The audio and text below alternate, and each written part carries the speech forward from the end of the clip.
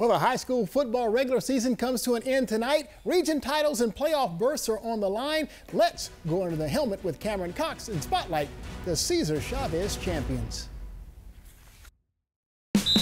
Being champions is much more than just school pride for the Cesar Chavez High School champions. The kids are doing it right now. They're, they're leading by example. Playing football on Friday night just isn't enough for these guys. So players had an idea start a fellowship of Christian athletes group. And we've been running it for the last two months, and they've been there every day and been working real hard and, you know, learning a little bit more about their faith and how it evolves and, and how it's involved in school and sports. The group is led by the quarterbacks, Lucas Arns, who's out for the year with a collarbone injury, and Joshua Garcia. Just being involved in the community, being that person that some kids in this neighborhood can look up to. But the work of FCA stretches far beyond the school hallways. That's when players went to coach, with more ideas. Hey, they wanted to feed two families for Thanksgiving. They, you know, we come in a, neighborhood where some kids don't have it as well as others, so like, hey, coach, can we help them out? And they went beyond that, and then they said, you know, and for Christmas, we want to buy presents for two families and provide the presents for them that can't do it themselves. So that's just, to see the boys go out there and do that and be outside of this football field is amazing. It's a blessing. The true blessing is helping those in need,